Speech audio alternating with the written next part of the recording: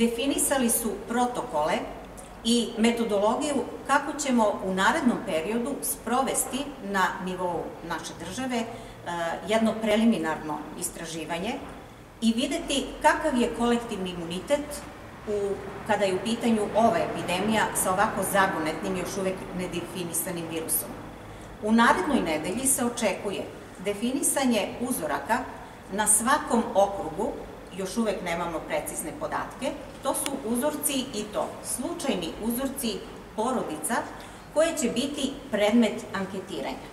Da odmah naglasim, to, to pilot istraživanje podrazumeva hiljadu ispitanika za celu Srbiju. E, ono će se nadovezati na jedno drugo istraživanje, znači bit će iz faze u fazu, koje će podrazumevati negde 17.000 ispitanika,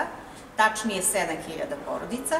dok negde u julu mesecu, odnosno na leto, se očekuje jedno globalnije istraživanje, a cilj je sagledavanje kolektivnog imuniteta nakon epidemije, da se vidi kolika je to stečena otpornost kod ljudi u pogledu pola, u pogledu uzrasta i kako smo uspeli da odreagujemo na virus koji sa sobom nosi toliko nepoznanica. Reći ću da je ovo istraživanje, ovo najpre pilot istraživanje koje nas očekuje na uzorku od hiljadu stanovnika za područje cele Srbije, dobrovoljno. Ali je ujedno i preporuka i apel da one porodice koje budu definisane kao slučajno uzorkovane se odazovu sa svojim članovima za ovakvo jedno anketiranje koje će podrazumevati to što će regionalni zavodi, konkretno Zavod za javno zdravlje Pirot, dobit će spisak tih slučajno izabranih porodica, vidjet ćemo koji će to biti broj, Biće u obavezi da lekar određen za te svrhe pozove i kontaktira vlasnika, odnosno vlasnika domaćinstva te porodice i upravo u najkraćim crtama reći ovo što ja sada govorim, koji je cilj ovog istraživanja. Samo uvid u, stečeno, i ovaj kolektivni imunitet. Učestvovaće svi članovi porodice stariji od 7 godina, a ukoliko glava porodice tog dana nije na telefonu ili u kući, podatke će davati, odnosno pristanak načelni usmeni, daće lice koje je starije od 18 godina. Lekar koji kontaktira porodicu zakazuje u roku od 5 dana dolazak u Zavod za javno zdravlje članova te iste porodice, potpisuju i pisani pristanak koji su dali najpre usmeno, je tako, i daje se ovaj, na uvid jedan upitnik, anketnik, koji nema mnogo pitanja, možda nekih desetak,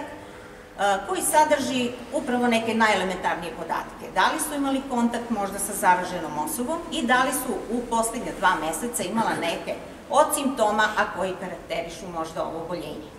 Zbog čega? Zato što znamo da u 20% slučajeva ovaj virus je dao simptome,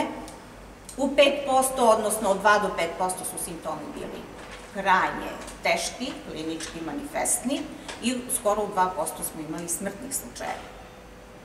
Nakon svega toga, popunjavanje upitnika, što će ići vrlo brzo, bit će organizovano, da se ne gubi mnogo vremena, ide uzimanje krvi.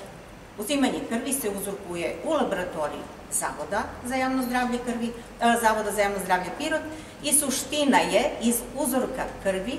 odvojiti serum, a iz seruma tražiti antitela i detektovati antitela koja će na neki način biti pokazatelj e, određenog imuniteta koji osoba ima. Svi podaci će biti apsolutno anonimni, bit će generisani na republičkom nivou i znači tu će apsolutno identitet svih e, porodica koje budu definisane kao slučajni uzorak biti maksimalno zaštićen. Zato je eto to i poziv, preliminarna informacija za ono što nam predstoji, da ukoliko se lekari zavoda jave i obrate porodicama koje će biti definisane kao takve za uzrokovanje, da je poželjno da se odazove. Ovo će i tekako koristiti da bismo mogli, kažem, da definišemo